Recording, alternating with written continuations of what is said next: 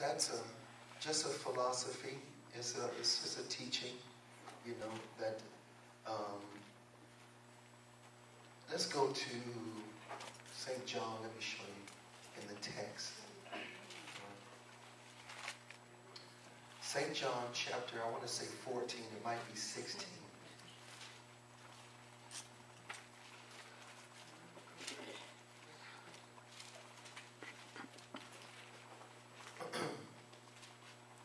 Uh,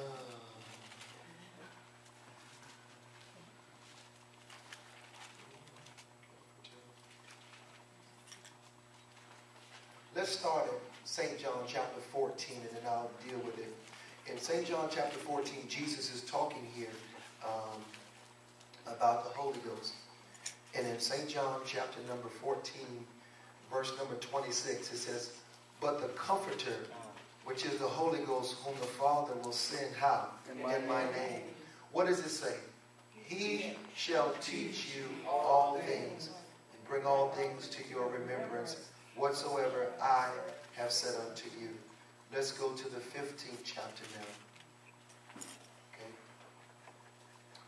Um, just talking about the Holy Ghost again. Chapter 15, verse 26. But when the Comforter, verse 26, but when the Comforter is come, whom I will send unto you from the Father, even the Spirit of truth, which proceeded from the Father, he shall testify of me. Do you see that? All right. Um, let's go to the 16th chapter now, verse number 13. And what it says is, Howbeit when who? No, no, thank you.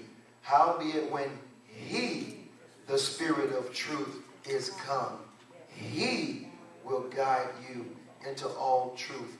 For he shall not speak of himself, but whatsoever he shall hear, that shall he speak, and he will show you things to come.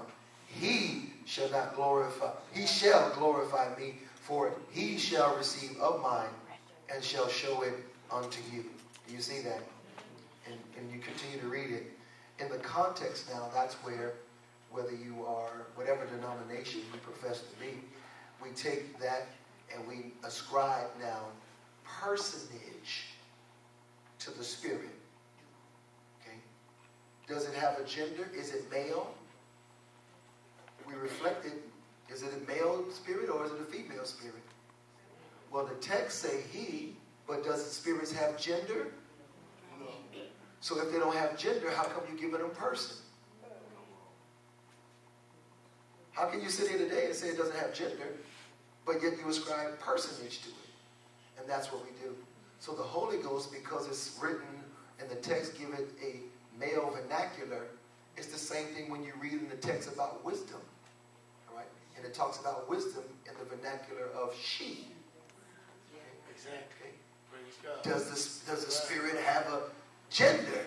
No, she doesn't because in the same context, when they say wisdom in the she vernacular, it's really referring to Christ. You see what I'm saying?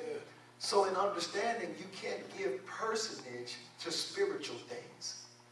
All right? And that's where we mess up when we try to make spiritual things carnal, natural. The only thing that we must understand is the only spirit that became carnal was Jehovah. God was manifest in the flesh. Does that make sense? And that's what we have to be able to understand and grasp, wrap our mind around. Okay? Because is there a difference in the Holy Ghost and the Spirit of the Father? Okay? My Bible tells me that Jesus Christ is the only begotten of the Father. But then in Luke it says that Mary was overshadowed by the Holy Ghost, and that holy thing shall that she'll conceive shall be called the Son of the Highest. So was it two different spirits? Same spirit. One Lord, one faith, one baptism, one God, one Father. Now there's many spirits. Whole bunch of spirit. Boy, it's a whole bunch of him. Okay? But it's only one Holy Spirit.